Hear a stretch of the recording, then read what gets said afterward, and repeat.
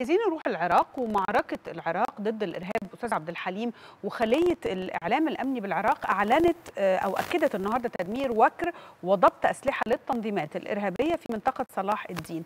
ما دلالة إفشال المخططات الإرهابية قبل حدوثها في العراق؟ أنا أتمنى مثلك مثل ما تتمنين أن يكون هناك إفشال للمخططات الإرهابية في العراق.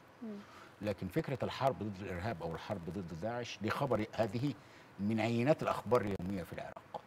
ليه من عينات الاخبار اليوميه؟ لأنه أريد للعراق أن يتلبنن.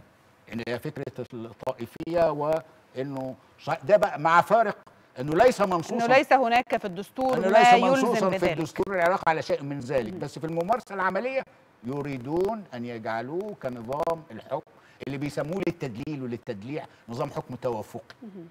يعني كل كل حد ياخد حتة من الكعكة يعني. فده آه الأصل.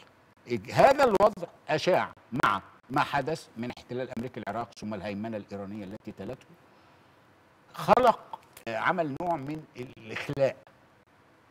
إخلاء المعنى الوطني العراقي. الوطنية العراقية الذاتية تخلخلت. فحلت مشاعر طائفية بقينا عندنا دواعي الشيعة ودواعي السنة. داعش الذي نعرفه اللي هو مسمى الدولة الإسلامية في العراق والشام ومش عارف إيه. جزء من من نقطة ارتكازه في التكوين العراقي مش قضية فقط الإرهاب وبتاع. قبل كده حاجة مهمة جدا يقول لك لا الشيعة كفرة. ما يعني ده دي الفكرة يعني تكفير الشيعة والعكس الشيعة يكفروا ده ودي حرب يزيد والحسين وإلى آخره. ده بيخلق أجواء اجتماعية عند بعض فئات السكان العراقيين حاضنة لتجدد داعش. باعتبارها باعتبار داعش سلاحها السري. ضد الفصائل الفصائل الولائية كما يسمونها في العراق التابعة للمرجعية مرجعية الخامنائي في إيران. هذا الوضع التربصي هو الذي يخلق بيئة متسامحة. ومن هنا من الجانب الآخر الدولة التي تواجه هذه البيئة لديها نوايا طيبة عبر عنها السيد مصطفى الكاظمي غير مرة. لكن ليس بالنوايا وحدها يعاد بناء الدول. طبعا في 10 أكتوبر اللي جاي مفترض إجراء انتخابات. أنا لا أتوقع أن تسفر الانتخابات عن شيء جديد لأنه ببساطة شديدة أنا مش بطلب لبن العصفور ولا بعلق الأمر على أشياء مستحيلة. يمكن التقدم إلى ذلك بس بشرط ان إيه المقاصد النهائية؟ المقصد النهائي إن الدولة اللي دمرت بعد الاحتلال الأمريكي يعاد بناء يعاد بناءها على إيه؟ على أساس وطني عراقي لا ده شيعي ولا ده سني ولا ده ولا أي حاجة. على أساس فكرة الكفاءة والمواطنة. وكذا الجيش أن يعاد بناؤه على أساس تجنيد الوطن العام لأن الذي يتأمل في الصيغة العراقية الراهنة بعد الاحتلال الأمريكي ثم الهيمنة الإيرانية هيجد أنه مفيش حاجة اسمها في أجهزة متعددة اسمها جهاز مكافحة الإرهاب على ال ال ال اللي هو الحشد الشعبي والحشود الشعبيه على إيه؟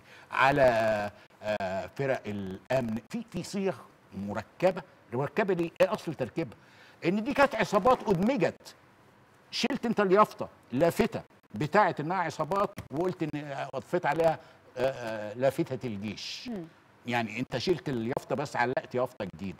فده جوهر العله فإعادة بناء جيش عراقي على أسس تجنيد الوطن العام وإعادة بناء الدولة العراقية على أسس مواطنة شاملة والدستور لا يمنع ويمكن حتى إعادة النظر في الدستور لأن الدستور كمان مدمر الهوية العراقية.